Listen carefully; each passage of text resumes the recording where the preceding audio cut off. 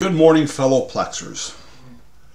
Today's video is for Greg, a member of the Plex Media Server Support Group who was asking about moving his media to Synology NAS for the first time and whether he should have folders for each of his movies.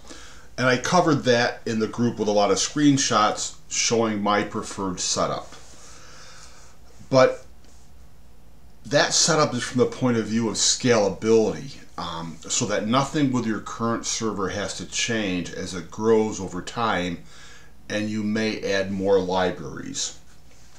So I shared a lot of graphics with him um, where I set up a network shared folder for my media and then I have five library sort folders, one for movie libraries, TV show libraries, photo libraries, other video libraries, and music libraries. And inside those folders are the actual Plex Media folders that you point your libraries at. So if you were only going to have a kids TV show library and a regular TV show library, there'd be two library folders in that library sort folder. If you're going to do the same in your movie library, but maybe have a stand-up library on the side or a documentary library on the side, you'd have those three subfolders in the movie library sort folder. Music, I can't really make a case for having more than one music library.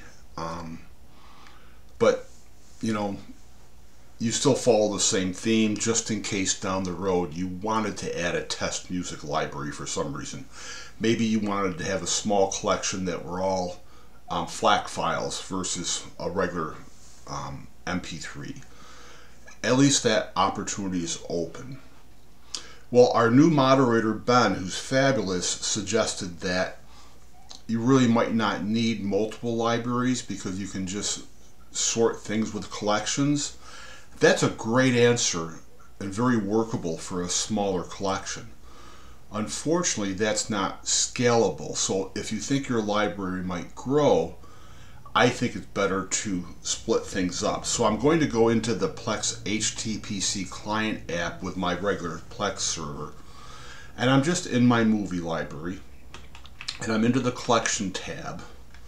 Um, and there's a neat feature with collections. If you name them the same, they will cross-reference between libraries. So I have a manual collection called Al's Favorites. I've got 170 movies added to that collection. And if I scroll all the way down to the bottom, you'll see it cross-references with the same name collection in my documentary movie library. So it kind of ties things together. So if I move to this library now, as you scale up, as you add more media, and if you have remote users who are your friends and family, you're going to have family members or friends who will never watch a documentary library in their life. Well, why, why throw that content into your main movie library, especially if it's large? If someone wants to see that content, it's harder to search for, and if you've got hundreds and hundreds of collections in a large movie library, they're not going to see those specific documentary collection libraries too easy. It's really better just to have a separate library for that content. So here's my main movie library. I have about 100 concerts in a separate concert library. Of all my family and friends, I've only had one person watch concerts no one else has to even have this library pinned.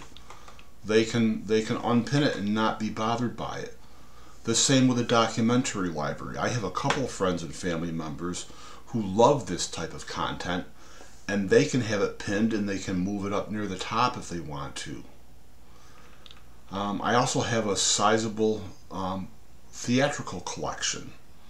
And again, a few users love this content and they can pin it. Those who will never watch it can unpin it. And, and by having it in a separate library, it doesn't clog up my main movie library. So the, the um, cross-reference collections are a great way to take that content that's split apart and to then bring it back together. So I showed you the Al's favorite from my movie library. Now if I go into the documentary collection, you'll see at the bottom the titles from the collection in my main movie library cross-reference. Don't ask me how I got this content, that's not part of this discussion, but I have this collection of documentaries. And it cross-references with the same name collection in my main movie library, in my kids movie library, and in my theatrical library. And these are smart collections. I've just become aware that smart collections will now cross-reference like manual collections. And I don't know why my TV show collection for this grouping isn't included yet, but I may have renamed it improperly. Maybe I've got a uh, space between TV and plus. But that's a new thing. So smart collections are now cross-referencing. I'll have to verify if they also cross-reference with a plain collection. But this is a great way to tie contact um, content back together.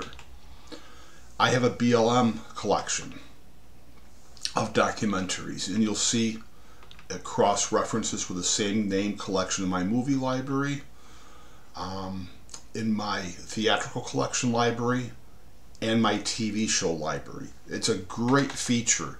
So I strongly suggest for scalability to split apart unlike content because you can always um, draw that content back together on similar topics. What else might I have in here? Focus feature. I love focus feature movies.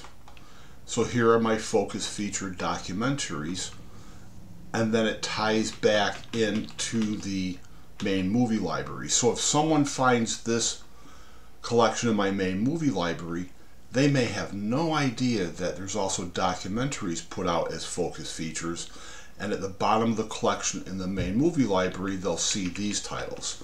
So scalability is the key. Um, once you know, it's like you can't unknow. You set yourself up for success by allowing your Plex to easily grow without having to backtrack to fix things you wish you knew at the beginning. So again, Ben's advice is great for a small server that's going to stay a small server. But as a server ramps up with content wise and you add more titles, you may want to split apart totally unlike items. And that's where my folder structure comes in. Um, it's all nested. You open up your main network share or your main media folder on a JOBD hard drive and then inside it you have a library sort folder for each type of Plex library and inside those individual library sort folders you then have one, two, or three, or four actual movie libraries or a couple TV show libraries. Um, and then inside each of those individual library folders you place your Plex media folders properly named to both the, the movie naming guide and the TV series naming guide. And then inside that are your proper season folders for TV shows and then your episodes. It really is scalable this way. And I know I'm trying to sell this to probably some people who might never grow a sizable library, but just don't cut that opportunity off. Leave it open, especially if you're setting things up fresh. All right, happy plexing and thanks for watching.